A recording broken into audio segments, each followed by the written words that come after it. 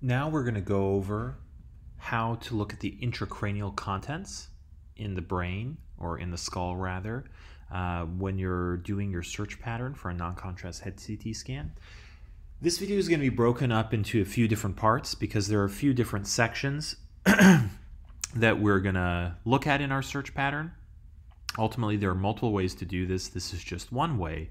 Uh, but what we have on our left is our soft tissue kernel. Uh, these are about 3.75 millimeter slices, so medium slice thickness. Um, we have it on the brain window, which uh, is 70-30 uh, settings for the window and level.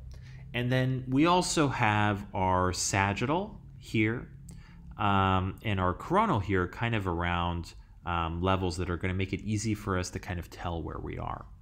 So there's a few different ways that we can do this. Um, we're actually going to start at the um, dependent portions of the the brain, and we're going to start low, kind of in the spinal canal uh, brain stem, and we're going to work our way up. So we're going to start back here, and as we go up, we're going to go up to the um, medullary level and as we do that, we just want to get a good sense to see, oh, you know, is there any herniation into the um, foramen magnum? Is the, are the cerebellar tonsils herniating downwards?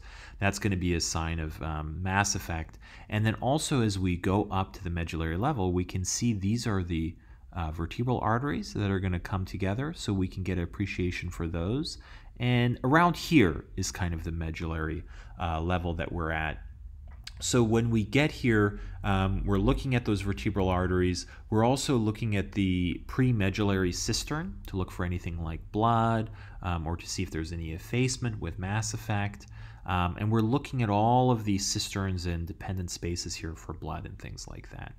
Once we do that, we're also now at the level that we can really appreciate the cerebellum. So we can just use this as an opportunity to look through the cerebellum all the way up and all the way down, looking on both sides to see if there's any abnormal pathology.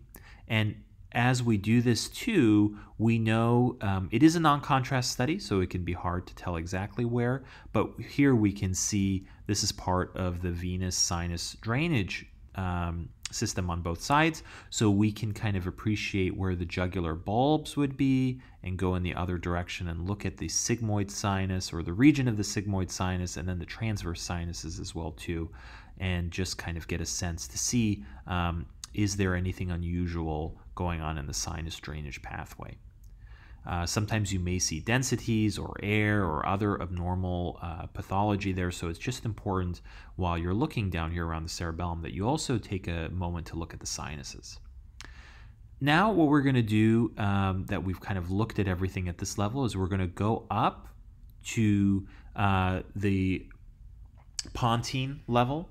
Uh, easy way to tell where we are, we can also look on our uh, sagittal, of course, but then also you'll see the fourth ventricle here can either be flattened or kind of have this kind of appearance to it, um, like a lampshade. And then we're going to look at the um, prepontine cistern. We're going to look at the fourth ventricle to see is there any blood in the cistern in the ventricle.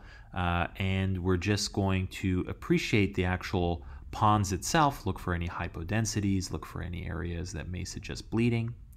Uh, and once we've done that, we can also uh, just go up now to the to the midbrain level. And here there's going to be a lot of cisterns, um, a lot of dependent portions, especially depending on which level of the uh, midbrain you're at. But you you're going to look at all of these uh, perimesencephalic cisterns, um, suprasellar, sellar cisterns. We'll go through some of them here.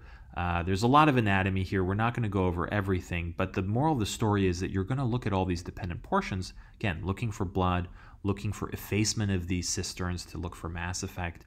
At this level, we see the uh, crural cisterns over here, ambient cisterns back here, uh, maybe, you know, quadrigeminal cistern as we go up and down. Um, at this level. And then here we have, you know, kind of our star appearance of the suprasellar cistern.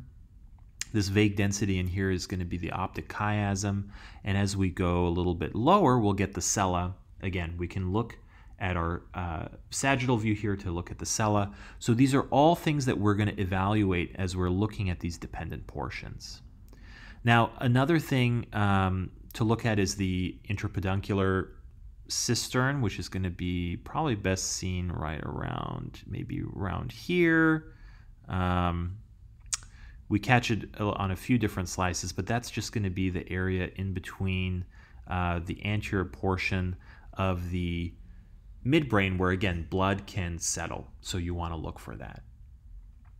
As we kind of scan up here as well, too, another thing that we can do, we looked at the vertebral arteries um, down here when we were kind of going up the brainstem.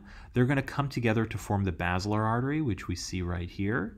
So we can just follow that on the anterior surface of the brainstem up to the midbrain level. And depending on how big and obvious it is, you may see the PCAs, the P1 segment of the PCAs come off, so you can look for signs of a dense vessel there or anything like that. Similarly, what we can do um, a little bit more on the anterior side, here are the carotid canals. We can just follow those up into the suprasellar space, and it can be a little hard to appreciate. But once we get here, these uh, those internal carotids will branch into the MCA. The first portion of the MCA will go along the Sylvian fissure, which is what this is here. So suprasellar cistern gives off the Sylvian fissures, and if you can, you can follow these M1 segments kind of up and down throughout the Sylvian fissure and you can see it even here. This is part of our MCA, but it's hard to appreciate what's going on at this point. But moral of the story is you can follow suprasellar cistern out to the Sylvian fissures bilaterally. Let's go do it on the other side. A little hard to appreciate, but here it is. And then as we kind of scan up and down, there we go. We can see the M1 branch here going through the Sylvian fissure up here.